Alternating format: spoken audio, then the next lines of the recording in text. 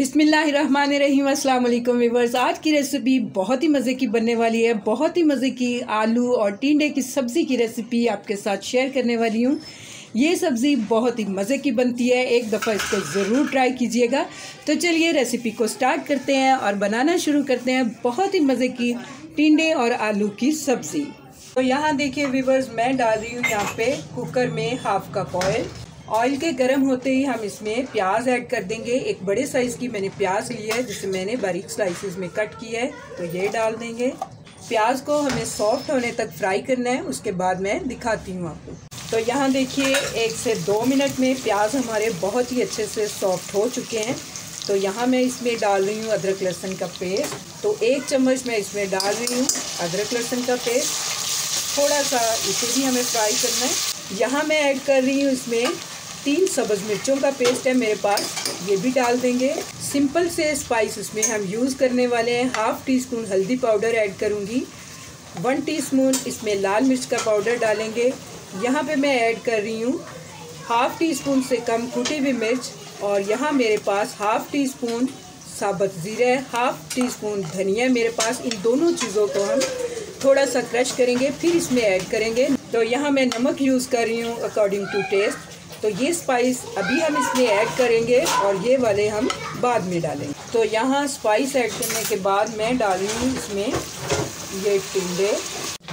तो टिंडे ऐड करने के बाद यहाँ मैं इसमें ये छोटे पीस में कटे हुए मेरे पास आलू हैं, ये भी मैंने डाल दिए हैं। तो यहाँ देखिए मैंने आलू और टिंडे डाल दिए हैं, साथ ही इसमें हम पानी ऐड कर देंगे। एक कप मैंने इसमें पानी डाल दिया है मिक्स कर लेंगे। बहुत ही अच्छी तरह से मैंने इसे मिक्स भी कर लिया है। तो यहाँ हमें इसे मीडियम फ्लेम पे प्रेशर देना है चार से पाँच मिनट के लिए।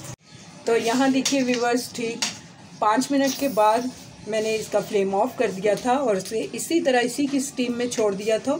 तो अब कुकर को खोल लेते हैं चेक कर लेते हैं। हमारे आलू और टीले सॉफ्ट हो चुके हैं। तो इसमें जो पानी नज़र आ रहा है, इस पानी को हम थोड़ा सा ड्राई करेंगे। फ्लेम को दोबारा से मैंने ऑन कर ली है। तो यहाँ मैं पानी को ड्राई करती हूँ और ड्राई करने के बाद दिखाती हूँ। तो यहाँ देखिए वीवर्स पानी काफ़ी हद तक खुश्क हो चुका है और यहाँ पे बहुत थोड़ा सा पानी अभी रह गया, दो से दो मिनट अभी हुए हैं मुझे। तो यहाँ मैं ऐड कर रही हूँ इसमें जो मैंने ज़ीरा और साबुत धनिया क्रश करके रखा हुआ है। ये मैंने डाल दिया है। मिक्स कर लेंगे इसे भी। लास्ट में डालेंगे तो बहुत ही अच्छी सी खुशबू आएगी आपके सालन में से।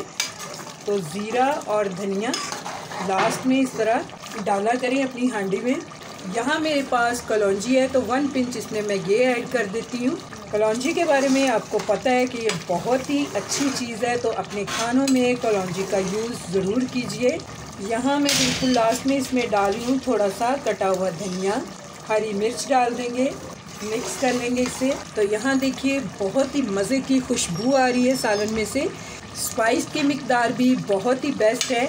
तो जितने स्पाइस मैंने ऐड किए हैं, ये बहुत ही नॉर्मल स्पाइस थे। अगर आप कम खाते हैं तो इसमें कम ऐड कर दीजिए और अगर आप ज़्यादा स्पाइसी पसंद करते हैं तो स्पाइस की मकदार को बढ़ाया भी जा सकता है।